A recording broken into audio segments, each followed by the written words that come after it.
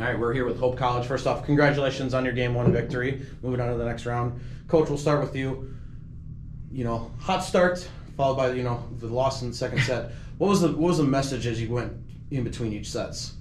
Well, I just want to start off by congratulating Whitworth on an amazing season. Um, that is a uh, a very talented team, very well coached, and um, they have got a lot of weapons that were difficult to stop um, throughout the match. Um, uh, I think that uh, one of the keys to our success in that match was um, our defensive presence, and uh, it started off with blocking and just kind of.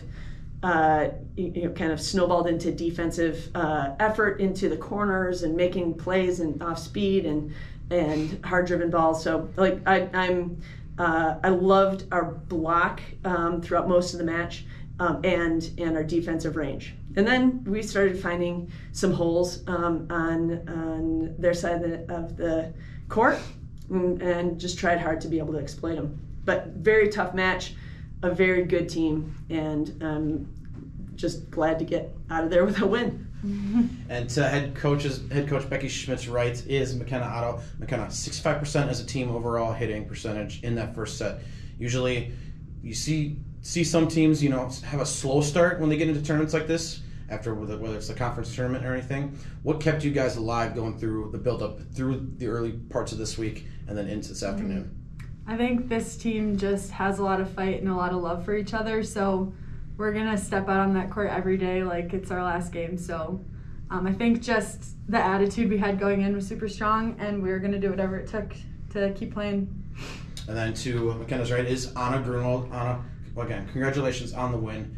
15 kills for you um, personally, and two service aces. You know, you had 22 attempts behind the end line. You work on that part of your game a lot during practice, or is it something that just comes naturally for you? Um, oh, we work on it. Uh, like these past few weeks, we've definitely worked on serving a lot as a team, um, working on a lot of different types of serves, like deep, short. So that helped me feel prepared and confident behind the service line. And also just knowing that I can be aggressive, and if I do miss, like we are a good passing team, I trust my team to come back. So.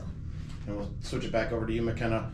You know, obviously, win the game today, you move on, you stay alive, play again tomorrow. Mm-hmm. What does preparation look like for you and your squad as we, we head into the evening and then early tomorrow morning?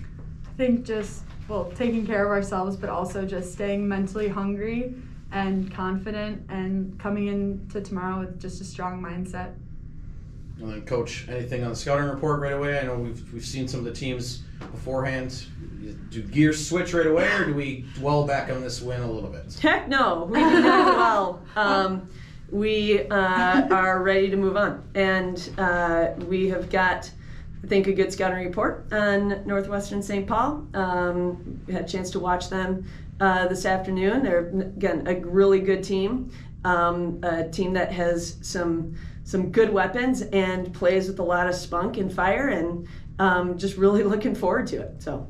And then we'll we'll finish on a post victory favorite meal for tonight, Oh. and then pregame meal Oh my tomorrow. gosh. McKenna, you're welcome to chime in too. Post. Oh, Oh, I don't know where we're going.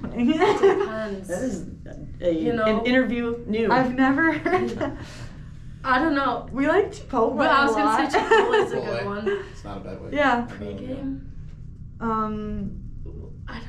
Oh, if it's in the morning, protein oatmeal. Oh, yeah. with yeah. a banana in it. There you go. Big time. There you go. Oatmeal. All right. Well, again, congratulations. Thank you.